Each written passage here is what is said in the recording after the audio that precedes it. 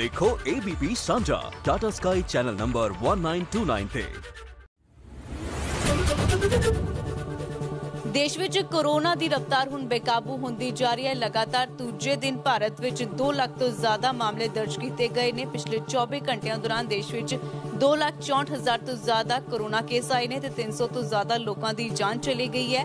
ਰਾਹਤ ਦੀ ਗੱਲ ਇਹ ਰਹੀ ਹੈ ਕਿ ਪਿਛਲੇ 24 ਘੰਟਿਆਂ ਦੌਰਾਨ ਦੇਸ਼ ਵਿੱਚ 1,08,000 ਤੋਂ ਜ਼ਿਆਦਾ ਮਰੀਜ਼ ਠੀਕ ਵੀ ਹੋਏ ਨੇ ਤੇ ਇਸ ਦੇ ਨਾਲ ਹੀ ਪੋਜ਼ਿਟਿਵਿਟੀ ਰੇਟ ਜੋ ਕਿ ਰੋਜ਼ਾਨਾ 14.78% ਤੱਕ ਪਹੁੰਚ ਚੁੱਕੀ ਹੈ। ਐਕਟਿਵ ਮਾਮਲਿਆਂ ਦੀ ਗੱਲ ਕਰੀਏ ਯਾਨੀ ਕਿ ਇਲਾਜ ਕਰਾ ਰਹੇ ਮਰੀਜ਼ਾਂ ਦੀ ਗਿਣਤੀ ਹੁਣ 12,72,000 ਤੋਂ ਪਾਰ ਹੋ ਚੁੱਕੀ ਹੈ। ਤੇਜ਼ੀ ਦੇ ਨਾਲ ਹੁਣ ਮਾਮਲੇ ਕੋਰੋਨਾ ਦੇ ਵਧਦੇ ਜਾ ਰਹੇ ਨੇ ਤੇ ਇਸ ਦੇ ਨਾਲ ਹੀ ਓਮਿਕਰੋਨ ਵੇਰੀਐਂਟ ਦਾ ਆંકੜਾ ਵੀ ਹੁਣ 5700 ਤੋਂ ਪਾਰ ਹੋ ਚੁੱਕਿਆ ਹੈ।